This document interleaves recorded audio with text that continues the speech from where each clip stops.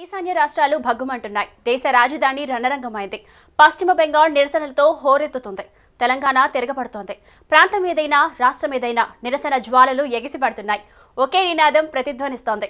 ఎటు చూసినా పౌరసత్వ బిల్లుపై వ్యతిరేక గలం వినపడుతోంది. తమ అస్తిత్వం కోసం కొందరు మత ప్రతిపాదికన విభజనపై మరికొందరు మండిపడుతున్నారు. పౌరసత్వ బిల్లుపై దేశం కన్నెర చేసింది. ఏ రాష్ట్రం చూసినా బిల్లుపై ఆగ్రహంతో ఊగిపోతున్నాయి. రాస్తారోకోలు ధర్నాలు దీక్షలతో దద్దరిల్లుతున్నాయి. ప్రజలు విద్యార్థులు మేధావులు స్వచ్ఛందంగా రోడ్డుపైకి వచ్చి పెద్ద ఎత్తున నిరసనలు వ్యక్తం చేస్తున్నారు.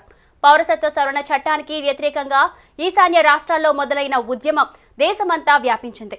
పశ్చిమ బెంగాల్ ఢిల్లీ తెలంగాణ బీహార్ కేరళలో పోలీసులు పహారాను దాటుకుంటూ ప్రజలు ఆందోళనకు దిగుతున్నారు. కర్ఫ్యూలను నూట నలభై నాలుగు సెక్షన్ లెక్క చేయకుండా రాళ్ళు రువ్వుతున్నారు. బస్సులు తగలబెడుతున్నారు. సీఏఏ బిల్లుకు వ్యతిరేకంగా ఢిల్లీలో గత కొన్ని రోజులుగా విద్యార్థులు ఆగకుండా పోరాడుతూనే ఉన్నారు. ఆగ్నేయ ఢిల్లీలోని న్యూ ఫ్రెండ్స్ కాలనీలో జామియా మిలియా ఇస్లామియా యూనివర్సిటీ విద్యార్థులు చేపట్టిన ఆందోళనతో మొదలైన ఈ ఉద్యమం తారాస్థాయికి చేరుకుంది.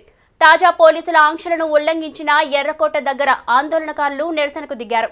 దీంతో అప్రమత్తమైన ప్రభుత్వం చాలా ప్రాంతాల్లో మొబైల్ ఇంటర్నెట్ సేవలను నిలిపివేసింది.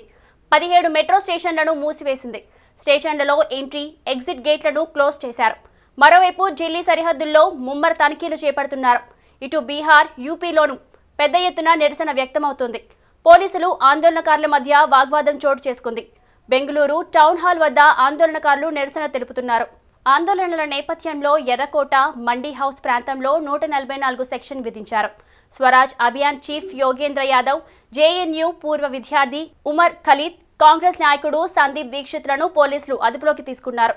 పౌరసత్వ బిల్లుతో దేశాన్ని మత ప్రాతిపదికన విభజన రేఖను గీయడం తగదని విద్యార్థులు మేధావులు రచయితలు అంటున్నారు. ఈ బిల్లును వెంటనే ఉపసంహరించుకోవాలి అని డిమాండ్ చేస్తున్నారు. ఇటు పశ్చిమ బెంగాల్లోనూ పౌరసత్వ సవరణ బిల్లుపై పశ్చిమ బెంగాల్లో నిరసనలు పెరుగుతున్నాయి. హౌరా ముర్షిదాబాద్ జిల్లాలో హింసాత్మక సంఘటనలు నమోదయ్యాయి. రాస్తారోకోలు ప్రభుత్వ ఆస్తులు రైల్వే స్టేషన్ల విధ్వంసమయ్యాయి. ఆందోళనకారులు రోడ్లపై కూర్చొని వాహనాలను అడ్డుకుంటున్నారు. రైలు రోకోలు నిర్వహిస్తున్నారు. అదేవిధంగా అస్సాం మేఘాలయ త్రిపురలలో నిరసన కార్యక్రమాలు సాగుతున్నాయి. వేలాది మంది రోడ్డెక్కి ఆందోళన చేపడుతున్నారు.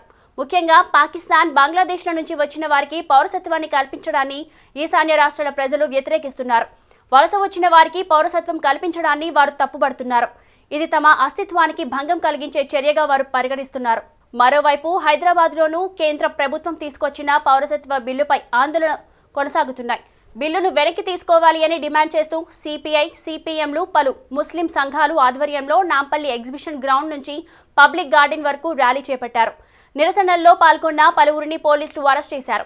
ర్యాలీకి పాత బస్తీ చార్మినార్ వద్ద ఎలాంటి ర్యాలీలకు పర్మిషన్లు లేవని ఇప్పటికే సుమారు యాభై మందిని అరెస్ట్ చేశారు పోలీసులు.